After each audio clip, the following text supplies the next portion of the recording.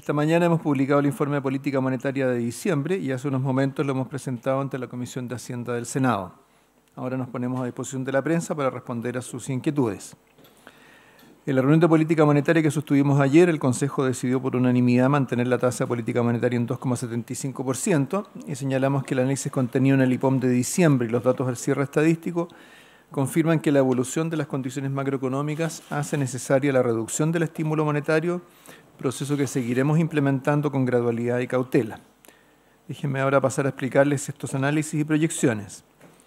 En primer lugar, como acabo, de, como acabo de mencionar, los antecedentes de los últimos meses indican que el escenario macroeconómico general delineado en el IPOM de septiembre pasado mantiene su vigencia. Así es como vemos una economía que ha recuperado su capacidad de crecimiento y va reduciendo sus holguras de capacidad. En el corto plazo, sin embargo, se han producido vaivenes.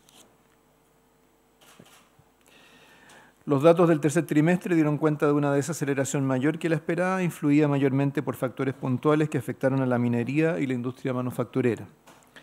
Esto fue especialmente visible en septiembre, mes en que el efecto de los menores días hábiles superó lo previsto. El crecimiento del IMASEC de octubre, dado a conocer esta mañana, mostró una reversión significativa de lo sucedido en septiembre, anotando un crecimiento anual de 4,2% con una actividad no minera que creció algo por sobre el 5% en 12 meses. Más allá de los vaivenes de corto plazo, nuestra visión se apoya en un dinamismo sostenido de la inversión que ha superado las expectativas, un desempeño más sólido del mercado del trabajo, tanto lo referido al empleo como a las remuneraciones, y la interpretación de que el menor crecimiento del tercer trimestre fue una pausa generada por factores puntuales, como acabo de explicarlo.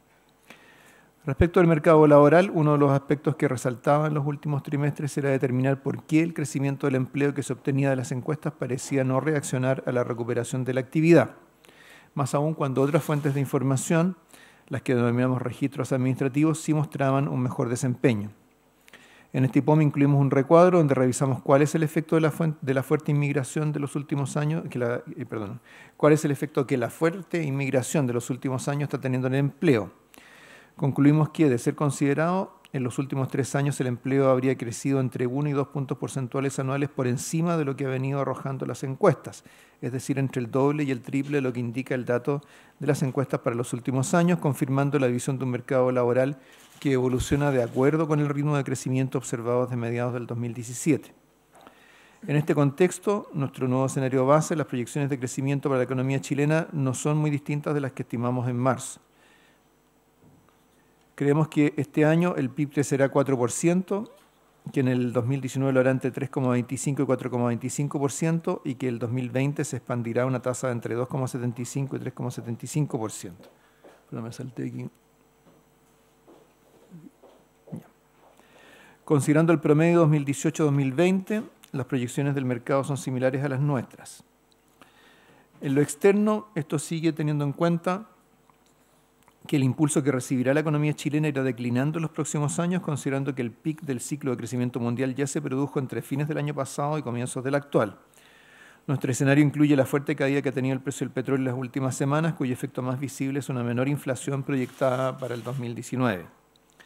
Sobre la inflación, se observa que los precios más sensibles a la brecha han respondido de acuerdo a lo esperado en este escenario de recuperación económica, con una inflación de servicios y no transables que se ha acelerado paulatinamente desde, inicios del año. De aplicarse la política monetaria delineada por el Consejo, que eh, menciono en unos momentos, la inflación subyacente convergerá con el IPC total y ambas con la meta de 3% hacia fines del 2019. La estrategia de política monetaria delineada en septiembre, consistente en un retiro gradual del estímulo monetario, mantiene también su vigencia. Clave para este juicio es la evaluación del tamaño de las holguras de capacidad en comparación con la magnitud del estímulo monetario. Mientras las primeras han disminuido y la inflación ha aumentado, la política monetaria continúa siendo altamente expansiva. Así es como tras elevar la tasa de política monetaria en 25 puntos base hasta 2,75% en octubre, y mantenerla en ese nivel en la reunión de ayer, el Consejo ha precisado que espera que dicha tasa converja a su nivel neutral de entre 4 a 4,5% nominal en la primera mitad del 2020. Como lo ratificamos en el comunicado de nuestra reunión de ayer, procederemos con gradualidad y cautela en la implementación de esta estrategia, mientras la gradualidad alude a los ajustes eh, eh, paulatinos y predecibles de la TPM que otorguen el tiempo necesario para la adecuación de los agentes económicos, la cautela será necesaria para ponderar eventuales cambios en el escenario macro que pudieran justificar un cambio de trayectoria. No se debe olvidar que nuestro escenario base está sujeto a varios riesgos, siendo los principales los del sector externo. Si bien el escenario base supone una declinación gradual del impulso e-, externo, sigue latente la posibilidad de un deterioro más significativo, producto de cambios más abruptos en las percepciones de riesgo, en la trayectoria de la política monetaria en el mundo desarrollado y un escalamiento del conflicto comercial. En caso de materializarse estos riesgos, la rotación cambiaria y el rol estabilizador de la política monetaria serán fundamentales para amortiguar su impacto sobre la economía chilena. Todos estos son elementos que iremos aquilatando reunión a reunión y justifica nuestro mensaje de gradualidad y cautela. La publicación de este IPOM la hemos acompañado con un informe sobre el mercado laboral. Este documento es el resumen de parte de la investigación que realiza el banco sobre estas materias y que incluye la revisión de fuentes de información que va mucho más allá de lo que habitualmente se considera para estos efectos. El informe no pretende abarcar temas sobre la coyuntura del mercado laboral, sino más bien dar cuenta de sus tendencias y características de modo de cooperar en la discusión de políticas públicas que son relevantes para toda la sociedad. El informe concluye que el mercado laboral chileno se caracteriza por una alta heterogeneidad y movilidad interna, estas características han permitido que el mercado del trabajo responda con mayor flexibilidad al ciclo económico y al shock migratorio de los últimos años sin generar grandes cambios en materia de desempleo. Al mismo tiempo, sin embargo, hay segmentos de la fuerza de trabajo para los que la alta rotación no conduce a mejoras salariales ni ganancias de productividad.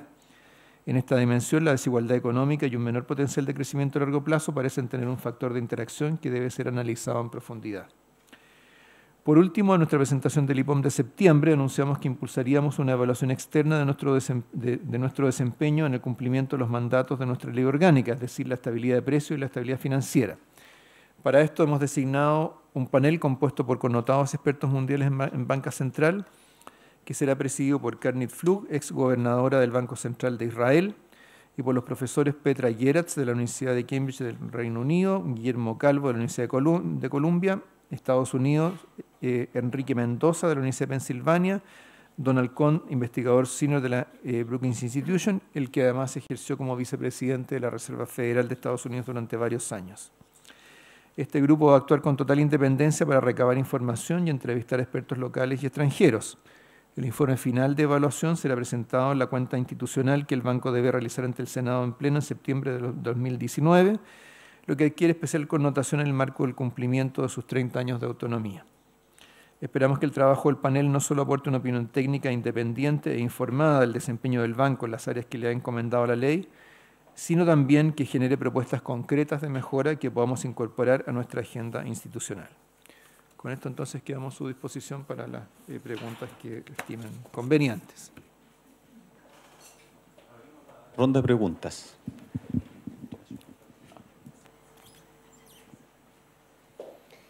Presidente, acerca de esta corrección eh, a la baja del crecimiento versus la proyección de septiembre, eh, ¿cuáles son las razones de esta corrección en primer lugar? Y segundo, si se trata de un mensaje mucho más cauteloso, más acorde a las expectativas de los agentes de mercado.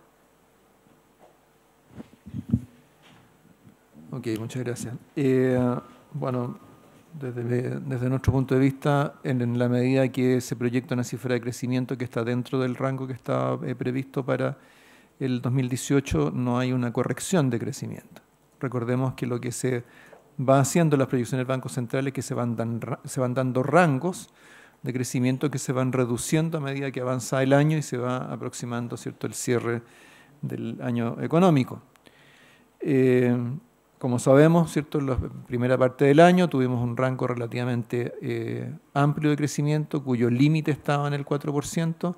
Posteriormente, en la reunión de septiembre, ese rango pasó a un rango de 4 a 4,5%. Hoy día la proyección puntual, que es lo que corresponde hacer en diciembre, es de 4%. Eh, por lo tanto, es una cifra que está dentro de ese rango. Por supuesto, está en la parte baja del rango. Eh, y eso eh, ayuda a ilustrar el hecho de que cuando se hacen estas proyecciones, eh, las, proyecciones, especialmente cuando una mayor distancia en el tiempo, están sujetas a distintos márgenes de error, de carácter estadístico, cambios en los supuestos, etc.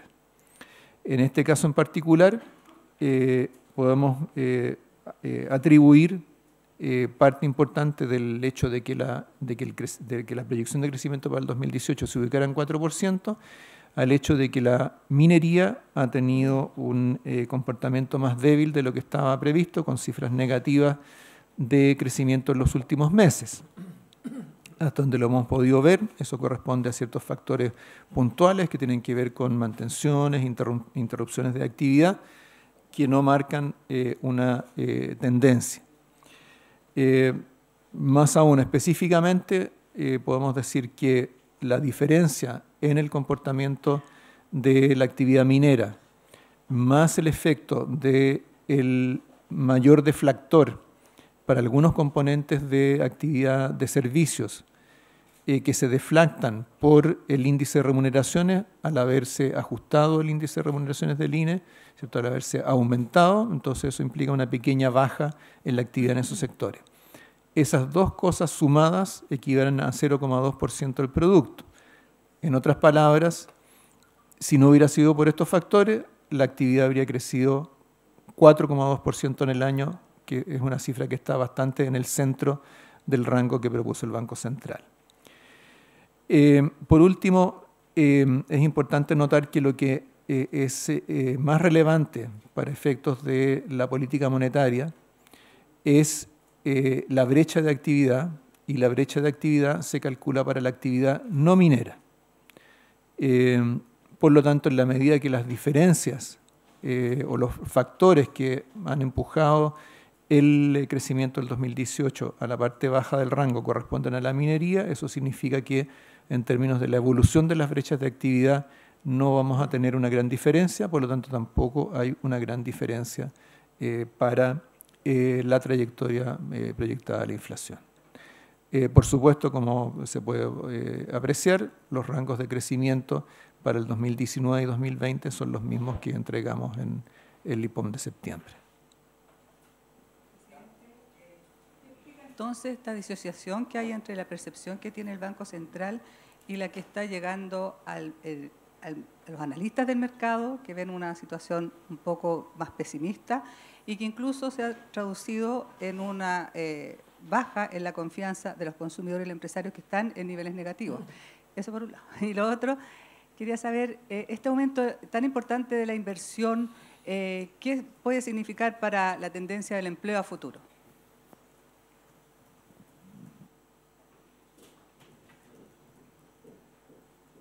Ok. Muy bien. Eh, primero, respecto de las percepciones, yo quisiera enfatizar que lo que el banco publica en su informe de política monetaria no es una percepción, es una proyección basada en los datos más sólidos a los cuales podemos eh, recurrir. Eh, por supuesto, el detalle que se entrega en el informe de política monetaria respecto de los fundamentos de esas proyecciones, sus implicancias para la política monetaria están eh, disponibles, se presentan con mucho detalle para que puedan ser eh, analizados, discutidos eh, por distintos actores y analistas. Em, ahora, por supuesto, si uno sigue lo que ha sido el debate en los últimos meses, hay muchas apreciaciones que, por ejemplo, se relacionan con la evolución de la economía mundial.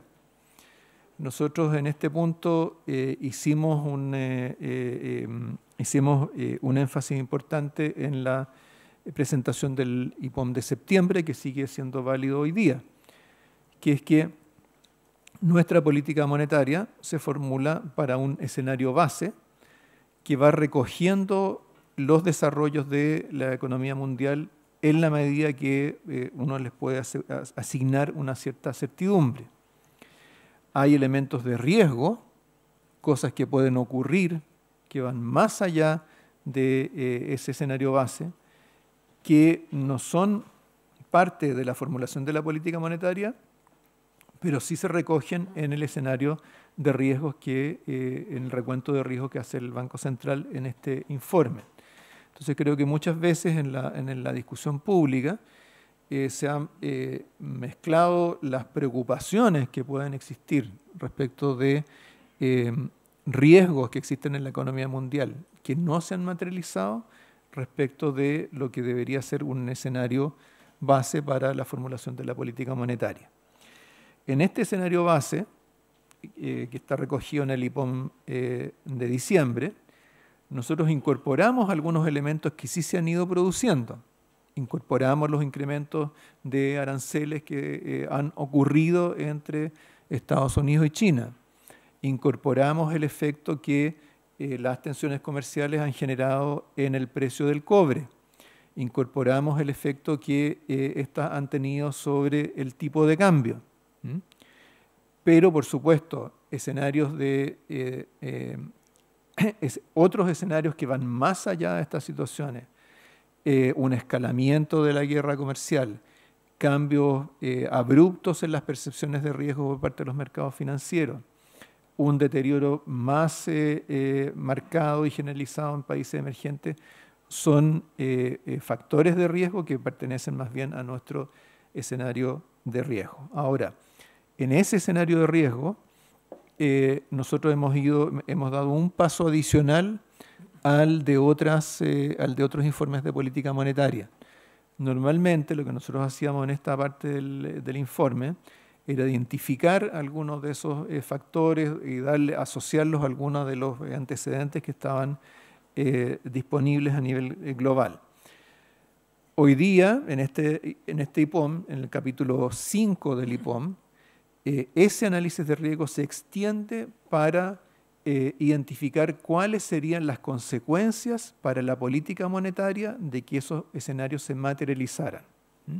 Entonces, por ejemplo, está hecho un análisis de qué es lo que ocurriría si, el, si a nivel global hubiera eh, un cambio importante en las percepciones de riesgo, con eh, cambios en, em, los, eh, en los spreads por riesgo soberano, cambios en tasas de interés internacionales, fluctuaciones del tipo de cambio y una caída en, la actividad de nuestros socios comerciales. y ese análisis, por ejemplo, plantea que si se diera en esas magnitudes, eh, eh, eso eh, llevaría a implicaría una mantención de la tasa de política monetaria por un periodo considerablemente más prolongado. Del mismo modo, también se considera un análisis, un escenario de riesgo, en este caso positivo, de que la inversión creciera más rápido de lo que está aquí previsto, que es la otra parte de su pregunta. En ese caso, probablemente se requeriría un ajuste algo más rápido del de, eh, proceso de normalización monetaria. Entonces paso a referirme a ese último punto. Eh, en este informe de política monetaria se ha corregido la estimación de crecimiento de la inversión de 5 a 5,5% en el 2018 y de 4,5 a 6% en el 2019. Se mantiene un crecimiento de 4% para el 2020, pero dado las cifras, las estimaciones mayores de crecimiento para los dos años precedentes, por supuesto eso implica un nivel de inversión significativamente mayor. Eh, eso tiene eh, efectos sobre la demanda interna eh, y tiene, por supuesto, efectos sobre el empleo. Todo eso están incorporados dentro del escenario base. la manera en que se produce ese, efecto es por el impacto más inmediato de las inversiones sobre algunas áreas de algunas ramas de actividad y su efecto multiplicador en la economía. Por supuesto, si se diera un escenario más positivo para la inversión, por supuesto el efecto sobre el empleo sería mayor, el efecto sobre la demanda interna sería mayor, las presiones sobre la inflación serían también algo mayores y eso requeriría eh, un, eh, un proceso de normalización algo más rápido de lo que está previsto en este informe.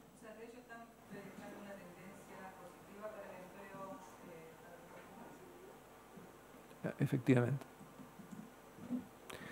Eh, el análisis del, IPOM lo que concluye al eh, eh, estimar el impacto que, al, estimar el crecimiento del empleo que es consistente con el flujo migratorio que ha recibido el país, concluye que, por lo tanto, el empleo así ajustado ha tenido un comportamiento acorde con el de la actividad económica, dentro de los rezagos que naturalmente esto tiene en, la economía. Y por lo tanto no hay razones para prever que esa, esa relación o esa coordinación entre el crecimiento del empleo, la demanda y la actividad económica no vaya a mantenerse en el futuro. Presidente, eh, consultarle por, el tema de la inversión también. Eh, precisamente comentaba que para este año se ajustó medio punto, pero para el próximo año es un punto y medio. Sin embargo, para 2020 vuelve a bajar. Entonces, eh, ¿Cómo se puede leer eso? Eh, en el fondo, ¿se espera una especie de shock en la inversión y que después se modere? ¿Y, cuáles serían las razones detrás de esa moderación? Y lo otro también aprovechar de preguntar también para el próximo año, eh, porque se mantuvo el rango eh, que habían entregado ya en septiembre. Entonces, de alguna manera, ¿qué tan, abierto está realmente este rango? ¿O hacia dónde se puede cargar un poco más la balanza? Porque está más cerca del medio, de la parte alta, como para tener alguna noción al respecto. Claro. Eh, respecto del último punto, eh, en la medida que eh, en, nuestro análisis de riesgo decimos que los riesgos para la actividad están balanceados, ¿ah? por lo tanto suponemos que e, el rango de crecimiento que está proyectado para el 2019 es, por así decirlo, equidistante. ¿ah?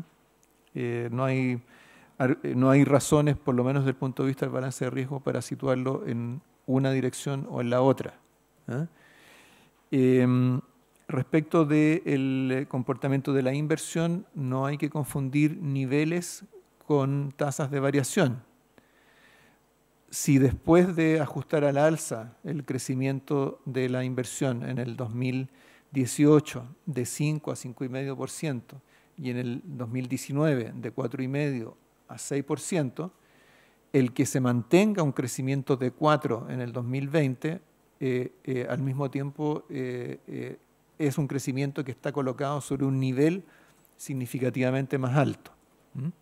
y lo que refleja es que particularmente en lo que se refiere a la minería, estamos recogiendo en esta proyección proyectos de inversión que tienen una concentración mayor en términos de expansión de la inversión en el 2019 que en el 2020. En particular, en el caso del 2019, el aumento de la inversión que está contenido en el eh, catastro de bienes de capital es del orden de los 3.500 millones de dólares. Entonces es un incremento importante.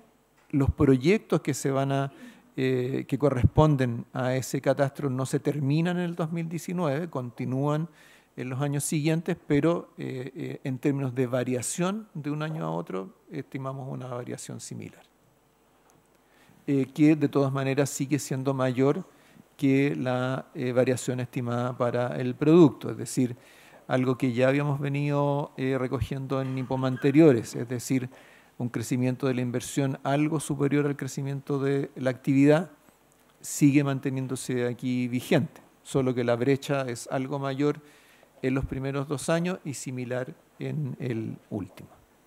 Sí, presidente, justamente le quería preguntar por eso, porque la inversión ha llamado mucho la atención la, trayectoria que ha tenido, que ha mostrado durante este año y lo que se proyecta.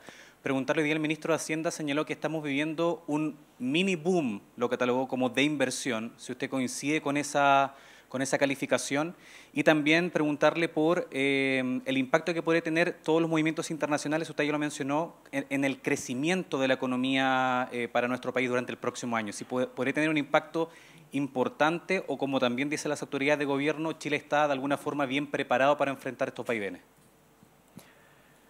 Claro. Eh, bueno, eh, eh, preferimos nosotros no agregarle calificativos a, las cifras que publicamos.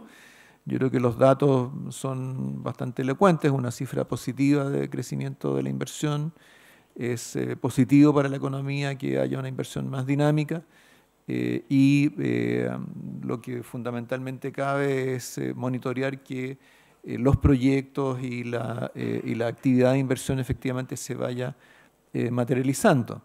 Eh, sabemos que hay eh, otros proyectos que están en, análisis, preparación, procesos de autorización ambiental, etcétera, que habrá que ver en qué momento, cómo, en qué magnitudes se van incorporando a, esta, a estas proyecciones. Em, perdón, eh, la economía eh, internacional. Em, a ver, eh, yo creo que un punto a enfatizar respecto de, de la, el impacto de, la, de, los, de, de, las turbulencias externas sobre la economía chilena es que lo que hemos visto en, en, buena medida durante este año es que, en primer lugar, el efecto de las turbulencias sobre las economías emergentes no ha sido tan significativo como se creyó que podía ser. De hecho, la eh, salida de capitales de economías emergentes en los últimos meses fue menor que lo que ocurrió, por ejemplo, durante la mini crisis eh, relacionada con, eh, con China en el 2016 y menor que el efecto del taper tantrum del 2013. Entonces, en primer lugar, ha habido algo más de estabilidad en los flujos de capitales. En segundo lugar, la economía chilena ha absorbido bien esos impactos, pese a que el tipo de cambio ha tenido fluctuaciones importantes. Sin embargo, esto no ha tenido mayor impacto sobre los agentes económicos, sobre los mercados financieros. Eh, por lo tanto, eso eh, creo que es algo eh, positivo, creo que tenemos que reconocer que a medida que el marco de política monetaria consistente en metas de inflación con flotación cambiaria se ha ido consolidando en Chile, la capacidad para absorber shocks externos ha ido también aumentando. En parte esto también se asocia a que ha ido desapareciendo lo que en eh, la literatura económica se llama el miedo a flotar la moneda. Es decir, hemos tenido fluctuaciones importantes del tipo de cambio, pero eso no ha implicado eh, eh, intervenciones ni ha implicado cambios en la dirección de la política monetaria. Entonces, eso creo que es un elemento favorable de cara a turbulencias adicionales que pudieran ocurrir en el futuro. Por supuesto, crisis de mayor magnitud es otro, por supuesto, es otro, es otro escenario. Pero eh, tenemos que tener claro de que el hecho de que la economía mundial tenga un ciclo, que en ese ciclo estemos dejando atrás el periodo de mayor expansión, no significa que la economía mundial vaya camino de una recesión o camino de una crisis como la que vivimos en el 2008-2009. Son crisis que ocurren cada muchos años en circunstancias muy especiales eh, y creemos que en la economía mundial ha habido algunos avances importantes que ayudan a mitigar esos riesgos, particularmente todo lo que ha sido la reestructuración, capitalización de la banca a nivel global. Presidente, ah, dos preguntas en una. Eh, primero, sobre el tema del empleo, en esta separata que se hizo eh, sobre el mercado laboral.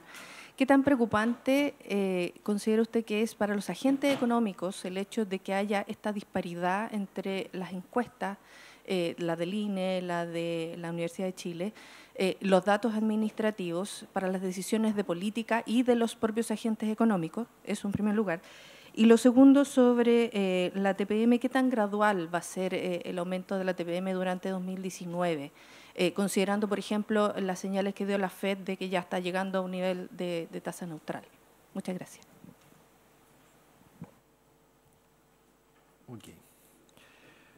Bien, eh, respecto al empleo, yo creo que eh, el, tema de las estadísticas tiene que ver con dos cosas.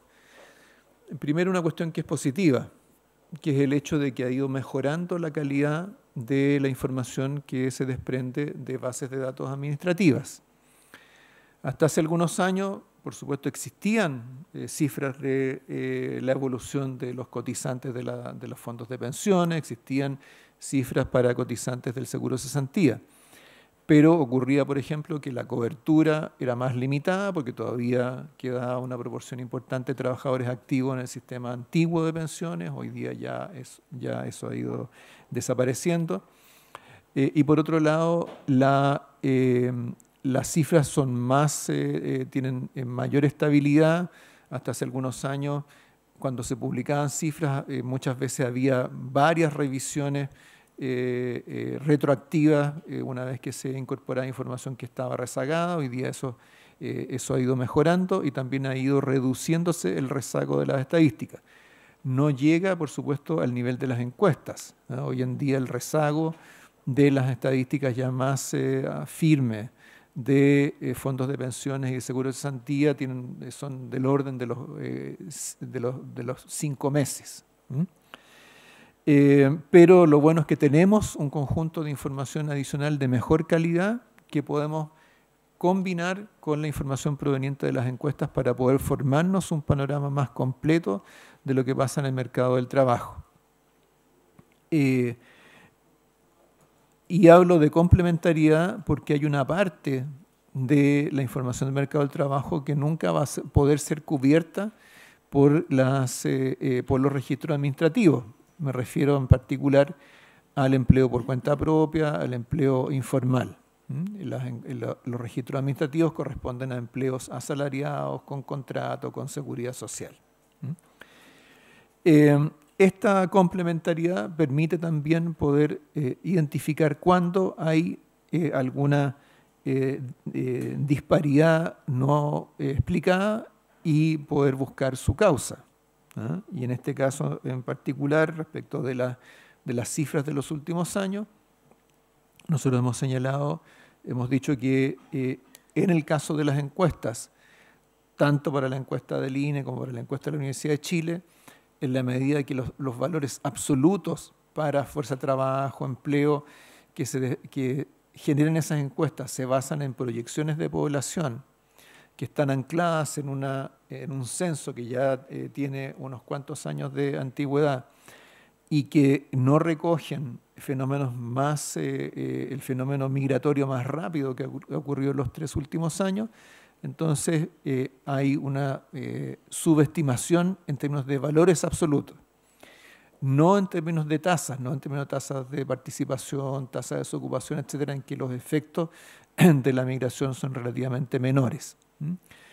Eh, ahora, nosotros en, este informe hemos hecho una estimación de cuánto podría ser la magnitud de esa diferencia hemos llegado a una cifra de, de entre 1,5 y 2 puntos porcentuales en términos de nivel de empleo eh, y eso eh, parece ser más consistente con lo que observamos en los registros administrativos, más consistente con el comportamiento del consumo, con el comportamiento de la actividad. Eh, respecto de la trayectoria de la política monetaria. Eh, nosotros hemos señalado, ¿cierto? hemos dicho que vamos a ir efectuando los ajustes en la tasa de política monetaria con gradualidad eh, y con cautela. ¿Qué significa gradualidad? Bueno, para eh, contrastarlo significa ¿cierto? que los ajustes en la política monetaria no se van a dar todos de golpe si el Consejo del Banco Central está señalando que espera que la tasa de política monetaria alcance su nivel neutral, que es de entre 4 y 4,5% nominal, en la primera mitad del 2020, eh, y, eh, consideramos, y, consideramos que esa diferencia, ese diferencial de tasa respecto del actual, que es entre 125 y 175 puntos base, equivale a entre 5 y 7 aumentos de 25 eh, puntos base cada uno. Y contrastamos eso con el hecho de que entre ahora y mediados del 2020 vamos a tener, eh, vamos a tener 12 reuniones de política monetaria, eh, simplemente una relación lineal sugeriría un ajuste reunión por medio, lo cual significa eh, cuatro aumentos de tasa en el 2019. Esa es una manera de operacionalizar gradualidad.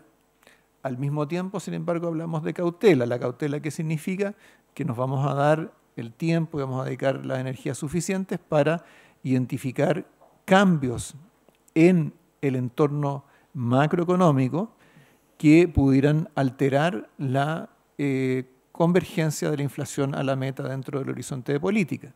y eso puede llevar a adelantar o atrasar las eh, eh, decisiones de política monetaria respecto de esa trayectoria más lineal.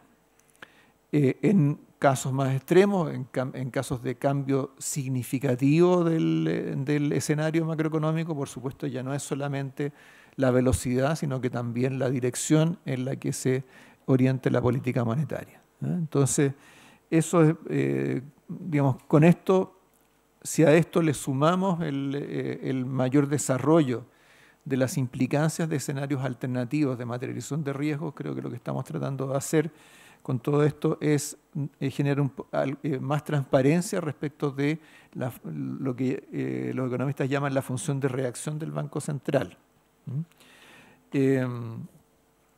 Entonces, nos parece que es, creo que es una manera de poder eh, comunicar la orientación que estamos dando a la política monetaria más, eh, quizás más clara que en otras oportunidades. Al mismo tiempo, también significa que si comparamos con lo que ha sido la eh, implementación de la política monetaria en años anteriores, lo que vemos también es que en muchas oportunidades los ajustes de tasa política monetaria fueron mucho más rápidos y más abruptos. A veces porque el cambio ¿cierto? de escenario fue muy rápido por ejemplo, en la, misma crisis financiera del 2008, pero en otras ocasiones simplemente porque, eh, dado, eh, porque era importante eh, asegurar credibilidad en la dirección de la política monetaria. Creemos que hoy día el Banco Central ha ganado suficiente credibilidad como para poder actuar con esta mayor gradualidad, poder ser más predecible en su trayectoria y en ese sentido nos parece que es un avance en eh, la eh, institucionalidad y el aporte que hace el banco a la estabilidad macroeconómica. Presidente, por acá, eh, dentro de la separata que hacen del mercado laboral, hablan también del tema de la migración. Dice que explicaría o podría explicar básicamente la desaceleración de los salarios. así que podríamos pues, profundizar quizá en, aquello, cómo se produce esa, esa situación básicamente. Muy bien, solo una precisión, que es que la separata en general se concentra en temas que, son, eh, que están más relacionados con el ciclo en el mediano plazo y con eh, el largo plazo en términos de potencial de crecimiento, productividad. Los temas relacionados con la migración, que tienen más que ver con la interpretación de, lo que de, la situación actual del mercado del trabajo, está en un recuadro del LIPOM. ¿eh? Eso para efectos de cuando ustedes entren ya más en el detalle, no lo busquen en el lugar incorrecto. Dicho eso, le, ofrezco la palabra al, eh, gerente de, la edición de política monetaria para que se refiera al tema del impacto sobre los Este es un tema que hemos seguido con mucho interés en el banco. Esencialmente, la inmigración es un shock de oferta de trabajo y por lo tanto tiene varios impactos, algunos que son más intuitivos, otros que requieren un poquito más de elaboración. Por un lado, la mayor oferta de trabajo para una demanda de trabajo que está fija en el corto plazo, implica que para que los trabajadores se puedan eh, incorporar en la fuerza de trabajo, eso imprime un poquito de eh, menor dinamismo en los salarios. Entonces eso intuitivo es de esperar. Y eso de alguna manera también reduce en el margen los costos de la empresa. Entonces solamente por ese canal el efecto de la inmigración debería llevar a un mayor crecimiento del empleo, probablemente un aumento de la tasa de desempleo y menores presiones en los salarios. Pero por otro lado, los inmigrantes también demandan más, también tienen que consumir y, ese es el efecto que no es tan obvio a veces de, entender de que eso tiende a imprimir un poquito más de presiones inflacionarias, o sea, en el otro sentido. Em, cuando uno pone estos elementos juntos, lo que nosotros estimamos que el impacto de la migración, en definitiva, eh, es consistente con este aumento del empleo que decía el presidente. Eh, a mi gusto, lo que es sorprendente de la cifra de desempleo es que siga siendo 7%, dado el flujo migratorio que tenemos, y que no sea 9 o 10. O sea, eso yo creo que es un aspecto positivo a destacar, lo que, lo que refleja en el fondo que se ha podido incorporar esta fuerza de trabajo al mercado sin grandes disrupciones. Y finalmente, como les decía, el efecto de demanda, lo que, lo que se traduce es que, em, en contraposición con este efecto salario, eh, el impacto en la inflación, que al final lo que más nos preocupa a nosotros, es moderado. Em, así que yo diría que es un, eh, en general es eh, un desarrollo positivo eh, que tiende a ser eh, expansivo en la, en la economía con efecto inflacionario más bien acotado. sobre la, misma, eh, llama la atención el, tema de eh, cuál es el efecto que, tiene eh, la migración en... No, estoy un poquito tenemos una disminución en, el consumo privado, ¿verdad? Este está asociado al mercado laboral ¿Cuánto está creciendo la, está creciendo la masa salarial? ¿Está disminuyendo? Esa es mi consulta. Y, la otra consulta para el presidente es, eh, es respecto a que usted cree que, o sea, eh, ha, señalado que eh, el debate que se ha producido en torno al escenario externo es lo que ha estado incidiendo en un mayor pesimismo en algunos, en, el mercado, qué sé yo pero eh, también el mercado habla de este menor consumo, o sea, eh, que el consumo no está aumentando tanto y, se refleja también en las cifras de comercio.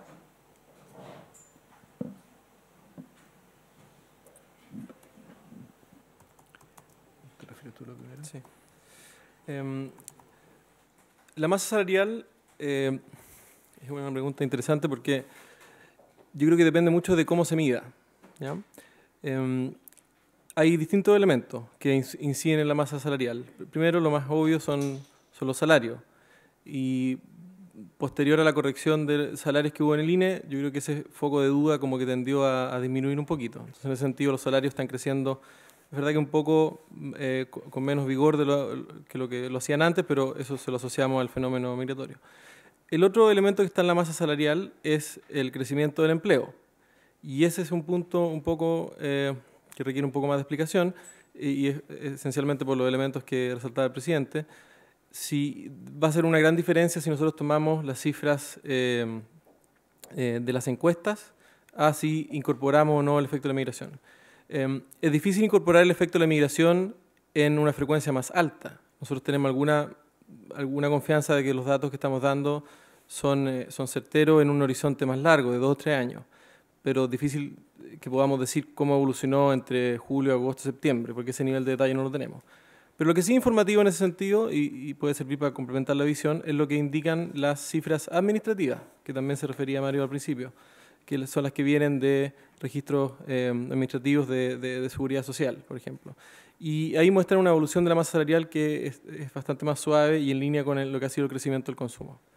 El último elemento que incide en la estimación de la masa salarial son las horas. Y las horas tampoco es un objeto único en los datos, hay distintos tipos de horas. Nosotros preferimos mirar las horas habitualmente trabajadas, que es básicamente lo que la gente responde cuando le preguntan, usted en general, ¿cuánto tiempo ha trabajado, cuántas horas ha trabajado en los últimos meses? Que es las horas efectivas, que por ejemplo pueden estar influenciadas de manera bastante importante por el día, por el efecto calendario que se mencionó anteriormente que ocurrió en septiembre. Entonces uno puede ver que efectivamente las horas efectivas de septiembre tuvieron una importante caída, no así las horas habitualmente trabajadas. Entonces, cuando uno hace esas correcciones, la verdad que la visión de la masa salarial es bastante más consistente con la expansión que ha tenido el, consumo. En relación al tema de consumo, comercio, pesimismo. A ver, primero tenemos que tener, eh, creo que es importante tener claros los datos en la primera derivada, es decir, el consumo total está, eh, se proyecta que crezca este año en un 3,6%. Eso tiene una diferencia de dos décimas respecto de lo que se proyectaba en septiembre. Y es prácticamente un punto superior al crecimiento del consumo en el 2017. Para el 2019, el, consumo, eh, el crecimiento del consumo se proyecta en 3,3% versus 3,4% que eh, teníamos antes. Y en el 2020 3,5 versus 3,6, es decir, son ajustes bastante marginales en la proyección de consumo que eh, uno puede eh, asociar más a la evolución eh, de, las cifras reales, producto de deflactores que son distintos más que a otros fenómenos de mayor magnitud. por otra parte, las cifras de comercio si uno seguía por lo menos por los últimos datos, las cifras de comercio que se publicaron hace unos días atrás eran de un crecimiento de la actividad del comercio de más del 8%. Entonces sería difícil definir eso como un escenario depresivo en el comercio. ¿ah? Eh, por supuesto, el comercio tiene mucha volatilidad ¿ah? eh, y tiene distintos componentes. Hemos tenido un comportamiento más dinámico de la venta de automóviles, por ejemplo, de bienes de consumo durable durante un tiempo, sigue siendo más dinámico que el consumo habitual. Eh, pero eh, las cifras yo creo que dan cuenta de, eh, de, un dinamismo importante. Es interesante también notar que en los últimos datos de, la, de empleo, el sector comercio ha tenido un crecimiento también importante, pese a que había estado relativamente estancado durante la primera mitad del año. Así que creo que desde ese punto de vista es difícil identificar tanto en la evolución del consumo como en la evolución de la actividad del sector comercio, algún cambio muy significativo que eh, eh, implicara eh, una, trayectoria sustancialmente distinta a lo que hemos venido proyectando hasta ahora. Presidente, sí, buenas tardes. Em, el ministro de Hacienda acaba de hacer un anuncio positivo para los bolsillos de los chilenos, anunció al menos cuatro semanas de baja en el precio de las bencinas, de todo tipo de bencina. En, el IPOM también se hace mención de lo que va a ocurrir con el precio internacional del petróleo 2019-2020, eh, bajo lo que vimos en 2018. ¿Cómo eso influye en el tema de la inflación? cuánto, em, cuán amigo estamos, está haciendo la inflación chilena con el precio del petróleo y cómo le influye a la gente. Esto quiere decir que las bencinas, el precio de las bencinas van a estar más o menos controlados durante los próximos dos años. Sí, bueno, yo entiendo que lo que eh, ha señalado el ministro de Hacienda se refiere a cómo va a, evolucionar el precio de las bencinas, dado el mecanismo del MEPCO, aplicado sobre la evolución que ya han tenido los precios de los combustibles a nivel internacional. Eh, por lo tanto, eh, digamos, es, es, una trayectoria que no es a plazos muy largos, pero que es bastante predecible. Eh, nosotros en el IPOM incorporamos estos elementos en la proyección de la inflación eh, lo proyectamos en la evolución de los términos de intercambio para efectos de caracterizar el escenario externo. Entonces, respecto a esto último, por ejemplo, eh, en el IPOM de septiembre nosotros teníamos, eh, estimábamos una pequeña caída de términos de intercambio en el 2019 y 2020. Hoy en día más bien suponemos que estos se mantienen estables en el tiempo. Y en el caso de la inflación, la caída de los precios de los combustibles es el principal factor que explica que estemos proyectando una inflación total, un IPC total, menor eh, que lo que se proyectaba en el eh, IPOM de septiembre. Sin embargo, los precios de los combustibles son, eh, corresponden a la parte más volátil del IPC. Y por lo tanto, por volátil no significa no solo que tiene cambios que pueden ser bastante abruptos, sino que además no tienen mucha persistencia en el tiempo. Entonces, como nosotros trabajamos con un horizonte para la inflación de 24 meses, ese es un horizonte dentro del cual estos efectos ya van desapareciendo. Una buena manera de reflejarlo es fijarse más bien en la trayectoria de la inflación subyacente o el IPC-SAE, que como se muestra en el IPOM, mantiene un comportamiento muy similar al que preveíamos, para, eh, el que preveíamos en septiembre. ¿eh? Hoy día está en 2,1%, para el IPC-SAE se prevé que este vaya eh, acelerando eh, en los próximos meses para acercarse al 3% eh, hacia mediados del próximo año. Explicarle bien a la gente, esto es la baja en el precio internacional que ven ustedes no implica necesariamente que los próximos dos años vamos a estar un poco más tranquilos con el tema del precio de las bencinas que fue tan noticioso en los últimos meses. Y lo otro, para explicarle, insisto, bien a la gente, esto no solamente tiene que ver con la gente que le echa combustible al automóvil, ¿no? Tiene otros efectos en el tema de inflación en el país, ¿cierto? Para si nos puede explicar esos dos puntos. Claro. O sea, proyectar el precio de, la, de los combustibles, gasolina en el mercado doméstico a dos años, por supuesto que es eh, muy difícil, no es un ejercicio que nosotros eh, hagamos con eh, ese tipo de precisión. pero por supuesto, en lo más inmediato y en contraste con lo que fue en los últimos dos meses, ¿cierto? en, que, en que el aumento en los precios de las gasolinas, de los combustibles, afectaron o fueron notorios para la gente, eh, ahora, con los precios evolucionando en el sentido inverso, con caída de los precios, por supuesto, eso es algo eh, positivo. Ahora, ¿cómo repercute eso en la economía? Eh, por supuesto, los combustibles no solamente tienen que ver con la benzina del auto, sino que también influyen sobre los precios del transporte eh, colectivo, el transporte urbano, el transporte, eh, eh, el transporte de, mayor distancia, es un insumo para muchas actividades económicas. Todo eso está recogido en nuestras proyecciones de, para la inflación. ¿Mm?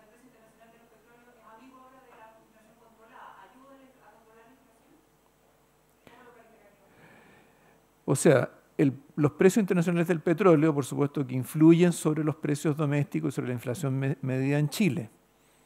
Lo que no hacen es tener un impacto más duradero dentro del horizonte de, que uno pueda eh, reflejar en el horizonte de proyección. ¿Mm? Presidente, eh, respecto a estos tres años corregidos del empleo, que han sido súper importantes para eh, que ustedes puedan orientar la política monetaria. Esto significa que en, los tres años, en estos tres años eh, ha habido errores en la política monetaria eh, porque no se conocían estos antecedentes y errores en otro tipo de políticas públicas como reajustes salariales, por ejemplo. Bueno, los reajustes salariales no tienen una relación muy mecánica con las cifras de empleo. Eh, en cuanto a la política monetaria, eh, en realidad las, eh, las divergencias más importantes que se han producido los datos son más o menos del último año y ese es el periodo en el cual nosotros como Banco Central hemos venido señalando cierto, una visión algo más sólida del mercado del trabajo que lo que se reflejaba en, eso, en las estadísticas tradicionales.